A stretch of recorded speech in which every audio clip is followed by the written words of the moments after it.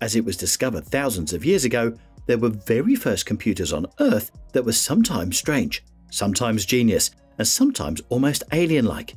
Scientists have discovered the first computers that ever existed on all continents, which were very surprising in nature. So, let's explain what were the first computers and advanced technologies ever to exist in the American continent, Europe, and other continents. First, as it was discovered, the first advanced computer to ever exist in Europe was the analog computer called the Antikythera mechanism, which is an ancient Greek computer that was discovered in 1901 by a group of sponge divers who were diving off the coast of the Greek island of Antikythera. Antikythera is a small, remote island that measures only 20 square kilometres in size and is home to just a few dozen inhabitants. It is located in the Aegean Sea between the Peloponnese Peninsula and the island of Crete. The Antikythera mechanism is a highly sophisticated device that was used to calculate the positions of the Sun, Moon, and planets. The mechanism was operated by turning a hand crank, which would cause a series of gears and cogs to turn, in turn moving a series of pointers on the device's face. These pointers indicated the position of the celestial bodies at a given moment in time, allowing the user to predict future astronomical events, such as eclipses and the cycles of the moon. While there is still much debate on the topic, it is generally believed that the Antikythera mechanism was created by the ancient Greeks. The mechanism was found in a shipwreck that was believed to have sunk sometime between 85 and 60 BC. The discovery of this device was significant as it challenged the prevailing idea that the ancient Greeks had no advanced technological capabilities. The ancient Greeks lived between 85 and 60 BC, a period marked by significant cultural, social, and political developments. The Greeks were known for their distinct way of life, which was defined by a set of rules and customs that governed their daily activities. The ancient Greeks were a deeply religious people, and religion played a crucial role in their daily lives. They believed in multiple gods and goddesses, and each city state had its own patron deity. Temples were built in honor of the gods, and they served as important centers for religious ceremonies and festivals. Religious festivals were an essential part of Greek culture, and they were celebrated throughout the year. These festivals provided an opportunity for the Greeks to come together, socialize, and participate in sporting events, music, and theatre performances. The Greeks also believed in the concept of divine justice, which meant that the gods and goddesses would punish those who committed crimes or acted immorally. Therefore, the Greeks were very superstitious and believed in the importance of offering sacrifices to the gods to appease them and avoid their wrath. The ancient Greeks' religious beliefs were not simply a matter of personal faith, but were woven into the fabric of their society and culture, said Professor Lloyd Llewellyn Jones, Cardiff University, also, the Greeks were renowned for their contributions to philosophy, science, and the arts. Some of the most famous philosophers of this period include Plato, Aristotle, and Socrates. The Greeks also made significant advances in fields such as mathematics, astronomy, and medicine. In the arts, the Greeks were known for their impressive architecture, sculpture, and literature. Famous works from this period include the Parthenon, the Venus de Milo, and the Iliad and Odyssey by Homer. And over the years, many scholars and researchers have attempted to unravel the mysteries of the Antikythera mechanism, but few have done so with the same passion and insight as the writer and researcher Graham Hancock. In his book, Fingerprints of the Gods, published in 1995, Hancock devoted a chapter to the Antikythera mechanism, offering a fascinating account of his own investigations into this remarkable device. He argued that the mechanism was not only an astronomical instrument, but also a key to understanding the advanced scientific and technological knowledge of the ancient Greeks. As Hancock examined the fragments of the mechanism, he was struck by the complexity and precision of the gearing system. He was also impressed by the accuracy of the astronomical calculations that the device was capable of producing. This level of sophistication was far beyond anything that Hancock had previously encountered in his studies of ancient Greek technology. Hancock became convinced that the Antikythera mechanism was evidence of a lost tradition of ancient scientific knowledge which had been passed down through the ages but had been largely forgotten by the time of the Renaissance. He argued that the mechanism was not an isolated example of this knowledge, but was part of a larger body of work that had been lost or destroyed over the centuries. This knowledge, he suggested, might have been the product of an ancient civilization that was far more advanced than had previously been imagined, but how did the Greeks manage to advance so significantly during that time? Well, Greeks had a unique political system that varied from city state to city state. In Athens, for example, democracy was established, where citizens voted on important decisions. In Sparta, on the other hand, an oligarchy ruled, where a small group of elite citizens held power. Despite these differences, the Greeks shared a common belief in the importance of civic duty and citizenship. Athens was one of the most notable city states during this period, known for its establishment of democracy. Athenian democracy was a system in which citizens had the right to participate in the decision making process.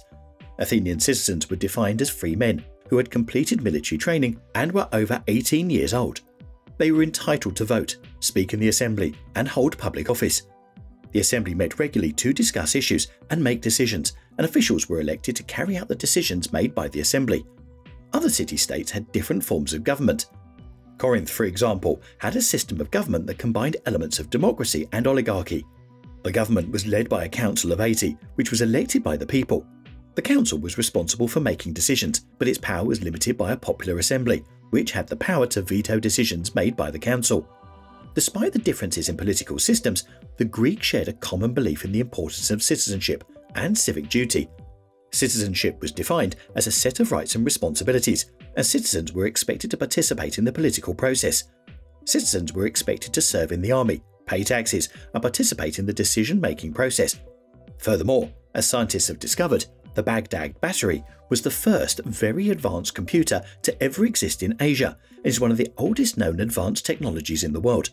The Baghdad battery is a fascinating ancient discovery that has puzzled historians and scientists for centuries. It was found in the ruins of a Parthian village near the present day city of Baghdad, Iraq, and is believed to date back to around 250 BC. The device itself consists of a clay jar, which is about 6 inches in height and contains a copper cylinder and an iron rod. The discovery of the Baghdad battery is credited to German archaeologist Wilhelm König, who unearthed the artifact in 1936. The clay jar that houses the copper cylinder and iron rod is thought to have been used as a container for a liquid electrolyte, such as vinegar or lemon juice. The device has been interpreted by some experts as an early form of battery or galvanic cell, which is a device that converts chemical energy into electrical energy. The Baghdad battery is an important discovery because it suggests that ancient civilizations may have been far more advanced than previously believed. The device is believed to have been used for electroplating, which is a process that involves using an electric current to coat a metal object with a layer of another metal. This technology was not believed to have been developed until the 19th century, yet the Baghdad battery appears to have been created over 2,000 years ago. There are many theories about the purpose of the Baghdad battery. Some experts believe that it was used in ancient medicine, while others suggest it may have been used to electroplate jewelry or other decorative objects. There is also a theory that the device was used for religious purposes, as it was found in close proximity to a temple. The Baghdad battery is an intriguing artifact that has captured the imagination of scientists and historians alike. Its discovery challenges our understanding of ancient technology and raises questions about scientific achievements of past civilizations. The device remains a mystery, and scientists continue to study it in an effort to uncover more information about its purpose and how it was used. Moreover, as scientists have discovered, Khipus was the first advanced technology to ever exist in America and is one of the most mysterious and intriguing ancient cultures in the world. The discovery of Khipus, an intricate system of knotted cords used by the Inca civilization in South America, has fascinated scholars for centuries these complex devices were used to record information such as taxes, census data, and historical events, and have been described as a form of proto writing or information processing. The origins of quipus are shrouded in mystery, as the Inca did not have a written language in the traditional sense.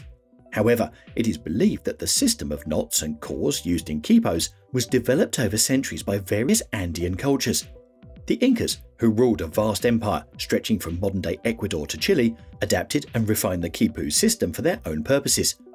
The quipu itself was made up of a main cord, or quipu, from which hung a series of smaller cords, or subsidiaries. Each subsidiary cord was divided into smaller sections, with knots tied at different intervals to represent different types of information. The knots and colours of the cords were used to convey different types of data, such as numbers, dates, and names. The Quipu system was highly sophisticated and flexible and could be used to record a wide variety of information. It was used to keep track of taxes, tribute payments, and census data, as well as to record historical events such as battles and coronations. The Quipus were also used as a form of communication, as skilled Quipu masters could interpret the knots and cords and relay messages between different parts of the empire. Despite the importance of the Quipu system to Inca society, very little is known about how they were actually used in practice. The Spanish conquistadors, who arrived in South America in the 16th century and conquered the Inca Empire, destroyed many of the quipus they encountered in their quest for gold and treasure. As a result, much of the knowledge of quipus was lost, and modern scholars have had to rely on a limited number of surviving examples and the accounts of early Spanish explorers to understand how they worked. Despite these challenges, scholars have made significant progress in deciphering the Quipu system in recent years.